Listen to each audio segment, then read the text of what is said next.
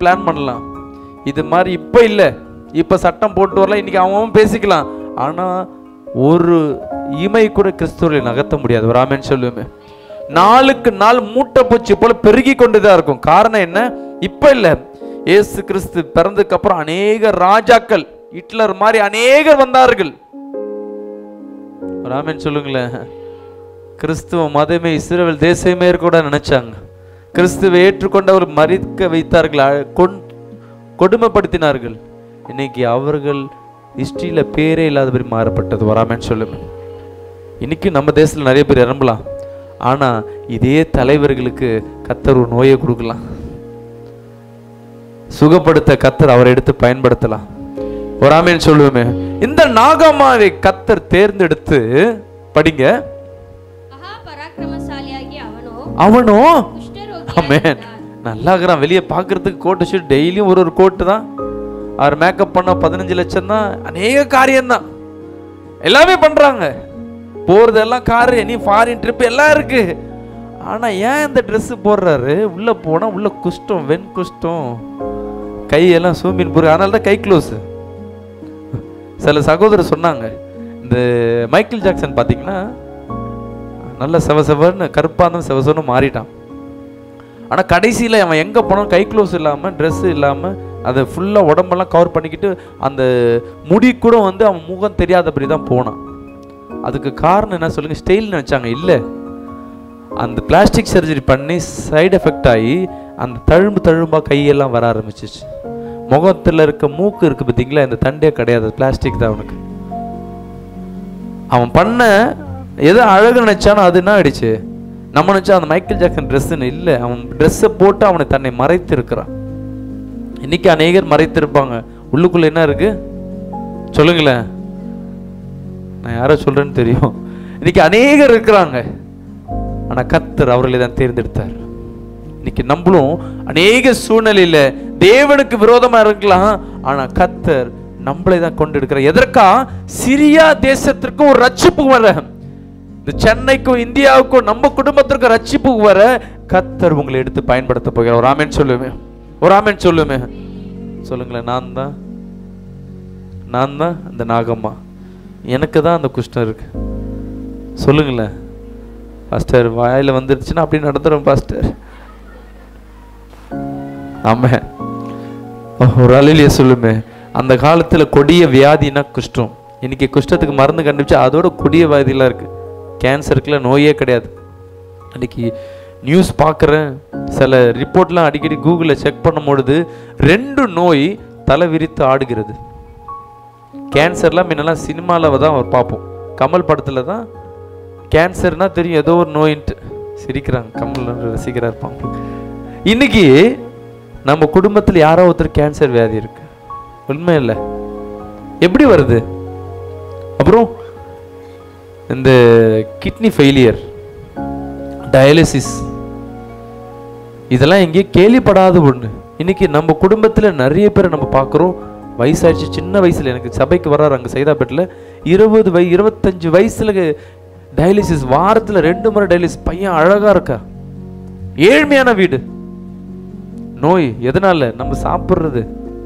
எண்ணெய் சிக்கனு பால் இது மூணில் தான் இவ்வளோ கெமிக்கல் இருக்குது ரெண்டாவது கேக்கு கேக்கில் யூஸ் பண்ணுற அந்த எசன்ஸ் கேன்சர் நோய்களை கொண்டு போகணும் அதை அத்தனை பார்ப்போம்.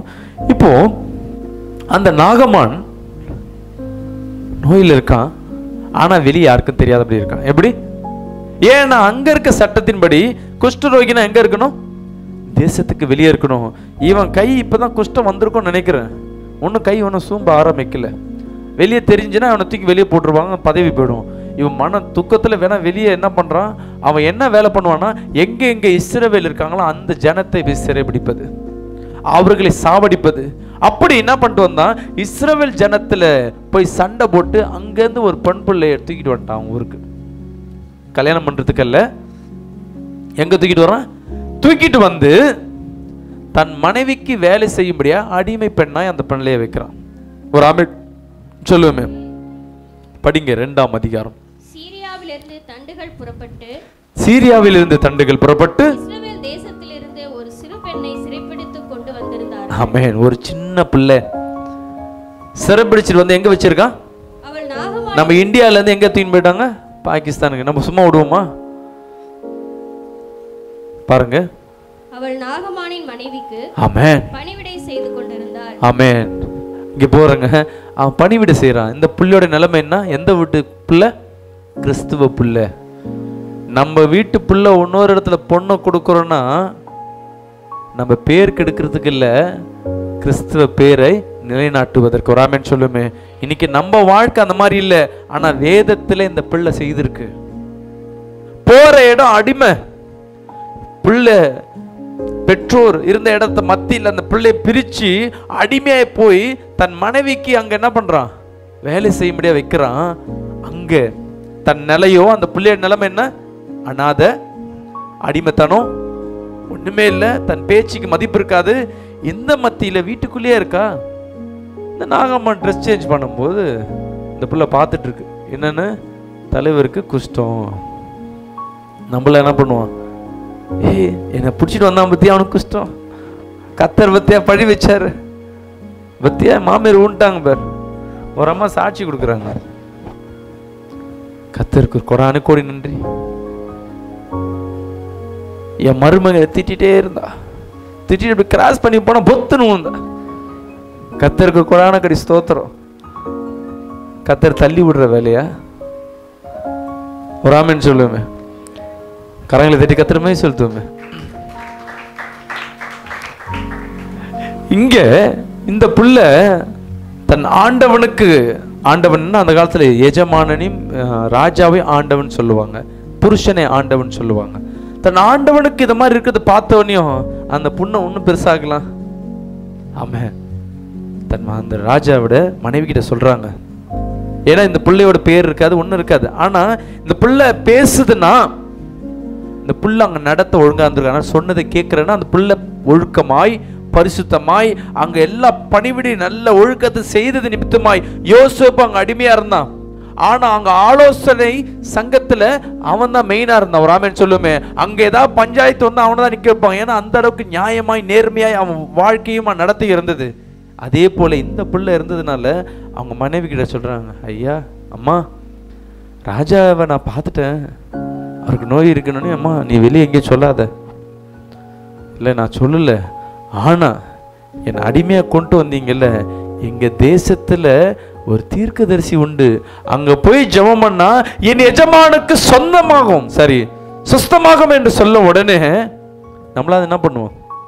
ஊழியம் பண்ணிங்களா என் வாழ்க்கையிலே கஷ்டமா இருக்கு நான் எங்க பாஸ்டர் போகுது என் வாழ்க்கையில எனக்கே பொருள் இல்லை நான் எங்க குழந்தைக்கு ஜெபம் பண்றது? எனக்கே திருமணம் ஆகலை நான் எப்படி ஜெபம் பண்ண? சில பேர் எனக்கு திருமணம் ஆகட்டும் நான் போய் முதல்ல ஜெ- ஊழியம் பண்றேன்னு திருமணம் ஆமாம் தன் தேசத்திலிருந்து வந்த தன் சூழ்நிலையை பார்க்கல.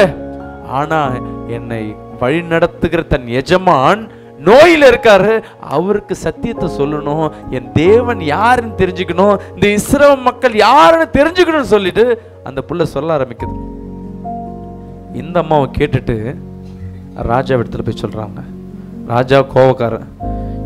இந்த தொழுநோய் இதெல்லாம் சொன்னா இன்னும் இன்னும் கோவம் ஜாஸ்திப்படுவார் மறை பக்குவமாக இந்த மாதிரி ஒரு பாஸ்ட் இருக்கிறாரா? இந்த மாதிரி இங்கே சர்ச்சு இருக்கான் போய் நீங்கள் போய் ஜெபம் பண்ணீங்கன்னா சரியாகுமா அவன் என்ன சொல்லியிருப்பான்? நான் அடிமையாய் தூக்கிட்டு வந்த பொண்ணு. அந்த பொண்ணு சொல்ல நான் கேட்கணுமா? கேட்டிருக்கலாம். உண்மைதானே? இல்லை நான் அடிமை கேவலமான அந்த இஸ்ரேல் ஜனத்துக்கு நான் போய் அங்கே ஜெபம் பண்ணணுமா? நான் செத்தாலும் என் அந்த குடும்பத்தில் காலை வைக்க மாட்டேன். நான் என்ன நடந்தாலும் அங்கே போக மாட்டேன். நம்மளுக்குள்ள ஆயிரம் பேசிப்போம். ராமன் சொல்லுமே. நீ போனா தான் விடுதலை. வராமன்னு சொல்லுமே உனக்கு கத்தர் எங்க வைப்பார்னா உனக்கு எதிரி யாருன்னு நினைக்கிறியோ அவங்க வீட்டு வாசல்ல தான் மெரிக்க வேணும் வைப்பார் ஆனா நம்ம மெரிக்க மாட்டோம். உன் விடுதலை எங்க இருக்கு? அந்த வீட்டு வாசல்ல தான் இருக்கு. அவங்க கொடுக்க மாட்டாங்க. கத்தர் விடுதலை கொடுப்பாரு. ஆனா வாசல்ல தான் உனக்கு வச்சிருப்பாரு. ஆனா காலை வைக்க மாட்டேன்னுவீங்க. எனக்கு யாரும் வேணாம். நான் இப்படியே இருக்கிறேன். இல்ல. கர்த்தர் அந்த பிள்ளை சொன்ன வார்த்தை மனைவி கேட்டு மனைவி வந்து ராஜா விடுதலை கேட்கும் பொழுது ராஜா நினைக்கிறான். ஏன் நினச்சிருப்பான்னா இந்த பிள்ளையோட வாழ்க்கை எப்படி இருக்கு? ஒரு ஆமென் சொல்லுமே. அடிமையா இருந்தாலும் அந்த பிள்ளை உத்தமமா இருந்திருக்கலாம். அந்த பிள்ளை ஒழுக்கமா இருந்திருக்கலாம். சரி சொன்னது உண்மையா இருக்குமான்ட்டு லெட்டர் எழுதுறான் கடுதாசி. யாருக்கு எழுதுறான்? இஸ்ரேவேல் தேசத்துல அப்போ அரசாளுகிற ராஜா கடிதம் எழுதுறான். என்ன எழுதுறான்? நான் இந்த மாதிரி சுகமானும் உங்க ஊர்ல தீர்க்கதரிசி இருக்கானா அவனை பார்க்க வரேன். அதுக்கு முன்னாடி என்ன பண்றான்? நிறைய பொற்காசுகளும் வெள்ளி காசுகளும் நிறைய கிஃப்ட் என்ன பண்ணுறான் ஊருக்கு அனுப்புகிறான் இந்த ராஜா இஸ்ரேல் ராஜா அந்த லெட்டரை பார்த்தோன்னே டென்ஷன் ஆகுறாரு. எங்கள் ஊரில் அடிச்சிட்டு எங்கள் ஊரில் இருக்க பொண்ணை எட்டுன்னு போயிட்டேன் உனக்கு சுகப்படுத்தணுமா? கிஃப்டெல்லாம் அனுப்பியிருக்கான். இதெல்லாம் உண்மையாக பொய்யான்னு தெரியல. அவன் சட்டையெல்லாம் கிழிச்சிக்கிட்டு டென்ஷனாக நிற்கிறான் ராஜா டென்ஷன் கரெக்டு தான். ஏன் தன் நாட்டில் இருக்க பிள்ளைய ஒருத்தன் கடத்தின்னு போய் அவனை துன்புறுத்தப்பட்டு இருக்கான் அவன் நாட்டில் எவன் கடத்தின்னு போனான் அவனுக்கு சேவை செய்யணுமா? ஒரு ஆமேன்னு சொல்லுவேன். ஆனால் நடந்தது. என் டென்ஷனாக இருக்கிறத பார்த்த உடனேயும்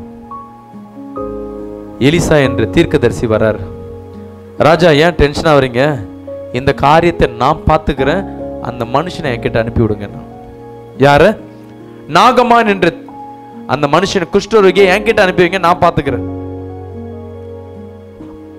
இவன் என்ன பண்றான்? ராஜாடி இன்ஃபர்மேஷன் வந்துச்சு. சரி நீங்க வாங்கணும் இவன் போறான் பெரிய படத்தெலுப்பி நம்ம இப்போ ஒரு மந்திரி போறான்னு எப்படி போவாரு?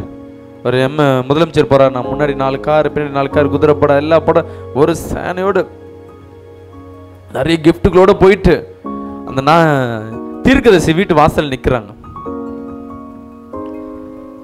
இப்போ இருக்க பாஸ்டருங்க யாராவது ஒரு விஐபி வந்தால் உடனே வாசல்ல போய் வரவேற்கிறது. அங்கே இருக்க எலிசாவை வெயிட் பண்றாரு. ஏன்னா நீ இஸ்ரேவல் ஜனம் யாருன்னு தெரிஞ்சுக்கணும்ல. நாங்கள் வணங்குற கடவுள் யாருன்னு தெரிஞ்சுக்கணும்ல. அங்கேருந்து இவன் என்ன பண்றான் நாகமான்? கூட இருக்க ஒரு பட ஒரு வீரன் அனுப்பி போயிட்டு நான் வந்திருக்கேன்னு சொல்லு அப்படின்னு இருக்கான்.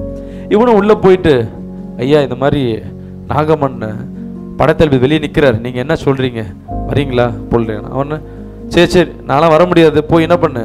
அப்படியே போயிட்டு அங்கே இருக்க ஒரு நதியில் போய் என்ன பண்ணு? ஏழு முறை குளிச்சுட்டு அப்படியே கிளம்பி போயிடு அப்படின்னாரு. இவனுக்கு வெளியே போய் சொல்லலாமா? என்ன பண்ணுறது தெரியல. இவன் பயந்துட்டு நடுங்கிட்டோடு வர்றான். ராஜான்னு என்ன உள்ளே வரணுமா? அவர் வராரா அப்படின்னு? இல்லை இல்லை நம்மள போய் அங்கே குளிச்சுட்டு அப்படியே போக சொல்கிறாங்கன்னு இவனுக்கு கோவம் கடுங்கோவம். என்ன இவ்வளோ இன்சல்ட் படுத்துறானு? ஒரு ஆமேன்னு சொல்லுவேன் ஒரு ஆமேன்னு சொல்லுமே. இஸ்ரேல் தேசத்தில் துன்புறுத்துறதுக்கு இவனுக்கு நன்மை நடக்க போகுது ஆனால் இருந்தாலும் ராஜாவின் மனம் கோணக்கூடாதுன்னா அந்த தீர்க்கதரிசி அவரை வெறும் வார்த்தை மட்டும் சொல்லி அனுப்புறார். இங்க இந்த படைத்தளபதி கூட இருக்க ஒரு சேவகன் உள்ள கேட்டு வந்து ராஜா கோபத்தில் இருக்கான். என்ன அவர் வந்து வெளியே வந்து கூட மாட்டாரா? அவர் வந்து என்கிட்ட பேச மாட்டாரா? அவர் வந்து என்னை பார்க்க மாட்டாரா? இவன் நினைச்சா நான் வந்தவொடனே ஒடையாருவாங்க கட்டி பிடிப்பாங்க மரியாதை செலுத்துவாங்கன்னு என்ன வெளிநாட்டு வெளிநாட்டு உறவாச்சே? அங்க ஒன்றும் செய்யாம போய் என்ன பண்ண குழின்னாரு இவன் வேலைக்கு ஆக மாட்டேன் நான் கிளம்புறேன்னு சொல்லிட்டு அவன் கிளம்பி போகும்பொழுது அந்த சேவகன் அவன் என்னவா இருக்காங்க ஒரு சாதா அடி தொண்டன். சாதாவாக இருக்கிற ஒன்றுமே இல்லாத ஒரு ஆள். அவன் ராஜாவுக்கு புத்தி சொல்கிற அளவுக்கு அவன் ஞானம் பெற்றவன் இல்லை. ராஜாவிடத்துல போய் சொல்கிறான் அவன். ராஜா நீங்கள் அவசரப்பட்டு போறீங்க கரெக்டு தான். தப்பாக எடுத்துக்காதீங்க ஒரே ஒன்று சொல்லலாமா என்னன்னு? அவர் பொண்ணோ பொருளோ ஏதோ விலை உயர்ந்து கேட்டால் அவர் கொடுத்துட்டு நீங்கள் அவர் சொன்னது குளிக்க தானே. நீங்கள் பண்ணியிருக்கலாமே அப்படின்னோடனையும் உனக்காக நான் போய் குளிக்கிறேன். ராமன் சொல்லுமே நம்ம சபைக்கு கூடுவோம். ஒரு வாரம் வாங்க உங்கள் வாழ்க்கையில் ஒரு மாற்றம் வரும். இங்கே நானும் சும்மா எல்லாம் மூணு மாதம் வாங்கன்றுவேன். ராமன் சொல்லுமே இந்த மாதிரி ஒரு விசுவாசி வந்து அந்த குளத்துல குளிக்கிறதுக்கு போகிறாங்க நம்மள மாதிரி விசுவாசின்னு வைங்களேன். முதல் முறை. அவன் அதுக்குள்ளே குளிக்கிறதுல யோசிக்கிறான். எங்கள் ஊரில் வந்து காவேரி இருக்குது கோதாவரி இருக்குது எல்லா தண்ணி இருக்குது ஆனால் இந்த தண்ணி ஸ்பெஷலா இருந்தாலும் நீ சொல்கிறேன்னு குடிக்கணும். இல்லை ராஜா நீங்கள் குடிக்க ராஜா. அவன் ட்ரெஸ்லாம் கேட்டு உள்ளே போகிறான் அவன். கால் வைக்கும் போது யாருக்கு அதிகம் பயம் இருக்குன்னு நினைக்கிறீங்க? எலியாவுக்கா? இல்லை இஸ்ரேல் ராஜாக்கா? இல்லை அந்த பொண்ணுக்கா? இல்லை அந்த சேவகனுக்கா? இல்லை ராஜாக்கா? அந்த சேவகன் ஏன்னா அவன் உண்மை போகிறவனை கூப்பிட்டு வந்து குளிக்க வைக்கிறது இவன். முதல்ல போகிறாங்க எல்லாம் ராஜா எல்லாம் கை தட்டுறாங்க மேலத்தோடு உள்ளே போய் குளிக்கிறான். உள்ளே போயிட்டு மேலே எந்திக்கிறான் எல்லாம் ஓன்னு கத்துறாங்க. ராமன் சொல்லுமே. ஆனால் அங்கே ஒன்றுமே இல்லை. அதே சர் அதே தோல் அதே சூம்பன கை அதே புண்ணு பிடிச்ச உடம்பு. இந்த கோவம் யார் மேலே வந்திருக்கும்? அங்க இருக்கிற அவன் காவலாளி நடு நடுங்கிற ஐயோ என்ன நடக்க போகுது? நம்ம ஒரு விசுவாசி சர்ச்சுக்கு கூட்டு வந்தான்னு வச்சுக்கேன். அன்னைக்கு அந்த வாரத்தில் கடன் பிரச்சனையோ ஒரு அற்புதம் நடக்கலைன்னா கூட்டு வந்த விசுவாசிக்கு டென்ஷனாக இருக்கும். அய்யோ அண்ணன் அதுவும் அவங்க சும்மா இருக்க மாட்டேன் நான் சொன்னேன் ஒரு வாரத்தில் அற்புதம் நடக்கணும் இன்னும் அங்கே பாஸ்ட் ஜெபம் கூட பண்ண மாட்டார். நான் பேய் கூட ஓட்டவே இல்லை. அதே கடன் தான் இருக்கு என் கணவர் அப்படியே தான் இருக்கார். குடிச்சிட்டு தான் இருக்கிறாரு.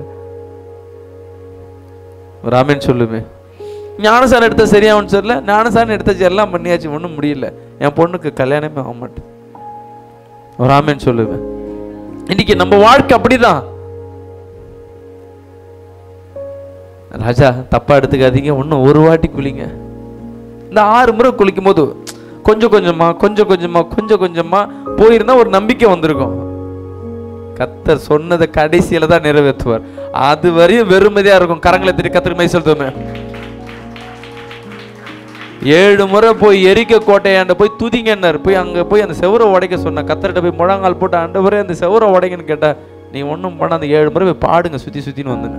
இவங்களும் இருக்கிற எல்லா டீம் எல்லாம் கூட்டின்னு வந்து அவன் ஜோரத்தில் இருந்தாலும் அவனும் வந்து டம்மு டீம்னு அடிச்சுன்னுக்குறாங்க ஃபர்ஸ்ட் நே ஃபஸ்ட்டு ஒரு ரவுண்டில் ஒரு கிராக் விழுந்தா கூட அடுத்த ரவுண்டு உற்சாகமாக இருக்கும். உண்மை தானே இல்லை கொஞ்சம் வீல் விட்டாவது அடுத்த ரவுண்டு முன்னெல்லாம் போகலாம் ஆறு ரவுண்டு வரையும் ஒன்றுமே இல்லை கல் மாதிரி இருக்கு. கூட அந்த என்ன சொல்லியிருப்பாங்க? இந்த லூஸாக இருப்பார் அது எப்படி பாடின உடையும் வேதத்தில் இருக்கா?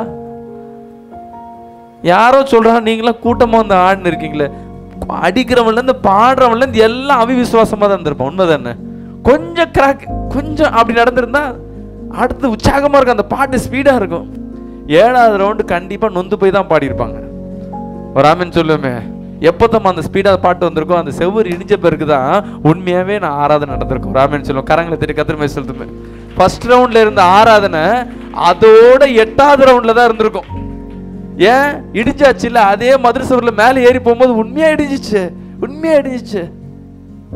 ரெண்டாவது வட்டியும் உள்ளே குதிக்கிறான். இவனுக்கு கட கட கட கடன்னு ஆடின்னு இருக்கு. எப்படிடா இவன் ரெண்டாவது உண்மையாகவே அவன் இதுக்கு முன்னாடி இஸ்ரேவேல் தேவனை ஏசு தேவனை நம்ம பிதாவே வணங்குனது கிடையாது. அவனும் வணங்கியிருப்பான். ஐயோ தெரியாமல் இந்த கடவுளுக்கு இன்னொன்றான் நம்ம எதாவது வேலும் எங்கேயோ குத்திட்டு போயிருக்கலாம். இங்கே வந்து நின்ட்டோமே. சரி. உள்ளே போயிட்டு எந்திக்கும் போது ராஜா முகம் செவ செவனுக்குது கோவத்தில்.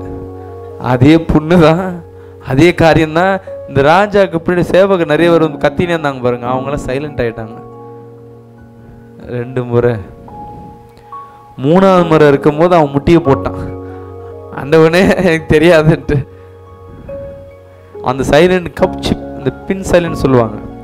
அந்த சேவகமுள்ள மூணு வாட்டி குளிக்கும் போது வரையும் யாரும் எதுவும் பேசல. ஃபஸ்ட்டு மாட்டி மட்டும் சவுண்டு வந்துச்சு ரெண்டாவது சவுண்ட் வச்சு மூணாவது வாட்டி. நாலாவது அஞ்சாவது ஆறாவது குளிக்கவே மாட்டேன்ட்டான். சரி எவ்வளோ குளிச்சிட்டிங்க நான் தான் சாவ போகிறேன் பரவாயில்ல. எங்கள் சபைக்கு வந்து பாருங்களேன். இந்த ஊழியம் பண்ணி பாருங்களேன். இந்த ஜெபத்தை கேட்டு பாருங்களேன். இந்த மெசேஜ் கேட்டு பாருங்களேன். இந்த வாக்குத்தத்தை அனுப்புறேன் கொஞ்சம் கேட்டு பாருங்க ஒரு சொல்லுமே.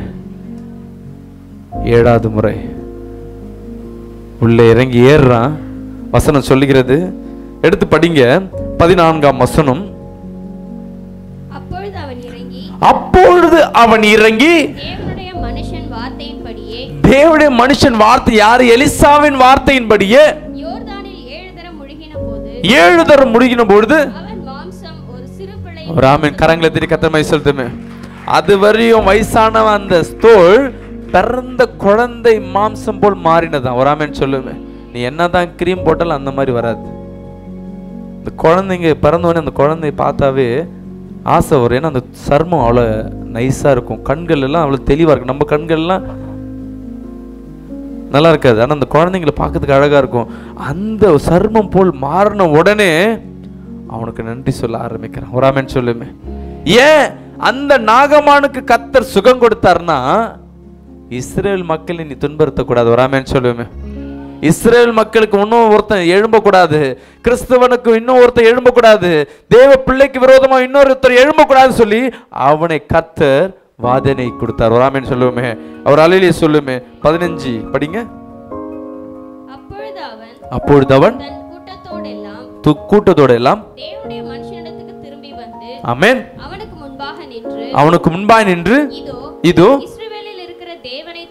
ஆமென். ஒரு அலையிலேயே சொல்லுமே. வேற தேவனை வணங்கினவன் இஸ்ரவேல் தேவன் இல்லைன்னு சொன்னவன் இஸ்ரவேல் ஜனங்களை நொடுக்கினவன் சொல்றான் வேற தேவன் உண்மையான தேவன் அல்ல.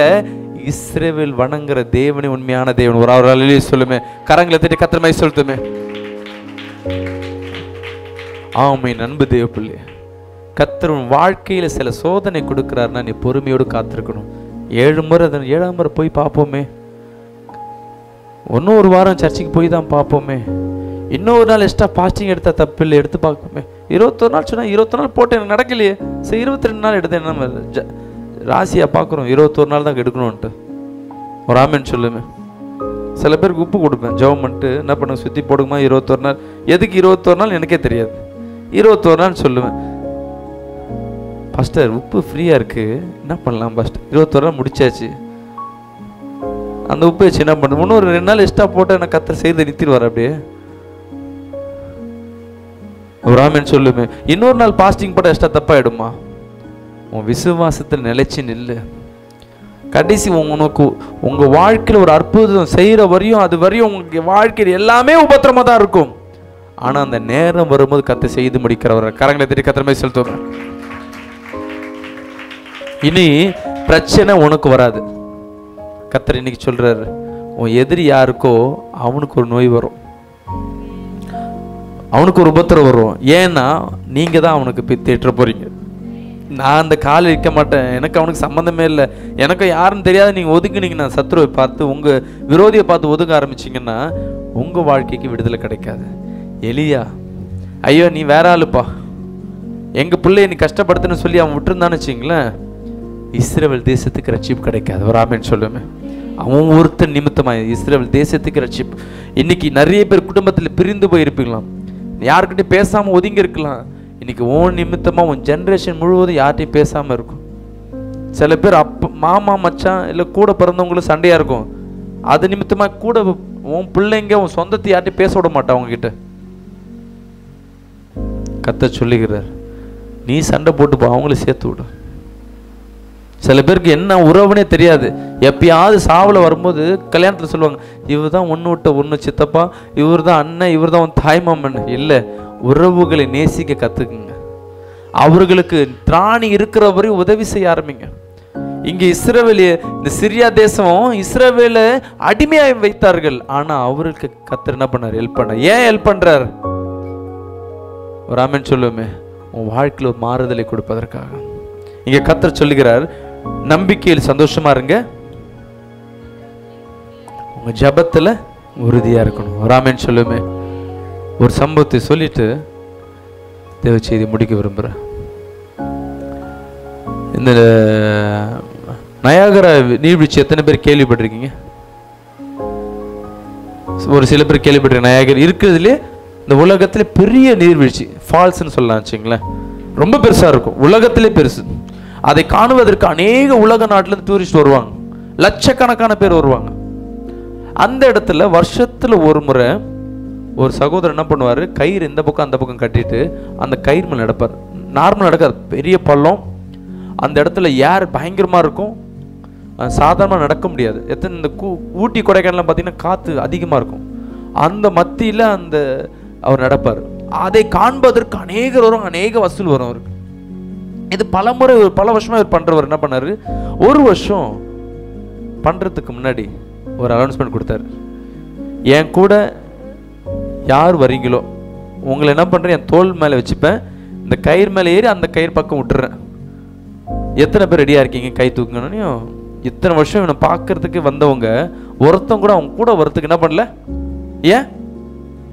உயிர் பயம். அன்னைக்கு பண்ணுற நிகழ்ச்சி கேன்சல் பண்ணி நாளைக்கு வைக்கிறேன். நாளைக்கு யாராவது சொல்லுங்கன்றது நாளைக்கு யாரும் வரல. சரி சொன்னேன். ஏன் ஒரு நாள் வருமானத்தை நான் கொடுக்குறேன். ஒரு நாள் வருமானமே கோடிக்கணக்காக இருக்குமா உனக்கு? அன்றைக்கி ஒரு நாள் அவன் ஷோ பண்ணுறான்னா ஒரு நாள் கோடிக்கணக்காக வருமானம். அப்படியும் யாரும் வரல. இவன் சொன்னா சரி அவன் ஒரு மாதத்து வருமானத்தை நான் கொடுக்குறேன். அவன் ஒரு மாதம் வருமானம் எப்படியா? அவன் வாழ்க்கையில் செட்டில் ஆனது போல. கோடிக்கணக்கான பணம். எவனும் வரல. இவன் நொந்து போயிட்டு இருக்கும்போது ஒரே ஒரு சிறு பையன். அவன் மட்டும் நான் வரேன்னு கை தூக்கினான். எல்லாருக்கும் ஆச்சரியம். ஸ்ட்ரெயிட்டாக போனான் அவன்கிட்ட போனான் அவன் தூக்கி மேலே வச்சான். அப்படியே நடந்து வரும்போது இடையில ஒரு வாட்டி ஸ்கிப் ஆனோம். இங்கே இதுவரையும் அவன் ஸ்கிப் ஆகும்போது ஒருத்தன் கத்துனதில்ல இப்போ ஸ்கிப் ஆகும்போது ஊரே கத்த ஆரம்பிக்குது. ஓன்னு ஆனால் எப்படி எடுத்து கொண்டு விட்டான். கொண்டு விட்டோன்னே அவன்கிட்ட எல்லாம் கேட்குறான் எப்படி? அவன்கிட்ட கேட்ட கேள்வி என்னன்னா இவ்வளோ பேருக்கு நீ எப்படி தைரியமா போன? அவன் என்ன சொல்லியிருப்பான்னு நினைக்கிறீங்க? அவர் தூக்கின் போது எங்கள் அப்பான்னு ஒரு ஆமேன்னு சொல்லுவேன் அவனுக்கு தெரியும் எங்கள் அப்பா நிறைய முறை என்னை வச்சு ப்ராக்டிஸ் பண்ணியிருக்கார். அநேக முறை க ம- மண்ணா போல காடை போல காகத்தை கொண்டும் பாறையிலேருந்து எனக்கு நிறைய முறை அற்புதம் செஞ்சுருக்கேன். இது என்னை காப்பாற்ற மாட்டாரா? நான் கூட போகிறது யார் கூட போகிறேன் எங்கள் அப்பா கூட போகிறேன் எங்கள் அப்பா விழுந்தாலும் விழுவாரு என்ன விட வைக்க மாட்டார். அந்த விசுவாசம் அவனுக்குள்ளே இருந்தது. ஒரு ஆமன் சொல்லுமே கரங்களை தட்டி. ஆனால் நம்மளுக்கு கத்தர் கூட இருக்கிறார் என்னன்னா கிடையாது விசுவாசம் அல்ல. அதனால என்ன இருக்கு? உன் வாக்கு தத்தத்துல உனக்கு விசுவாசத்துல சந்தோஷம் இல்லை. கத்துற உன் கூட இருந்தா என்ன இருக்கும்? சந்தோஷம் இருக்கும். ராமன் சொல்லுவோமே எப்படியோ ஃபாரின் போன உங்க வீட்டுக்கு வந்தா எப்படி இருக்கும்? கண்டிப்பா ஒரு சென்ட் பாட்டில் இருக்கும்.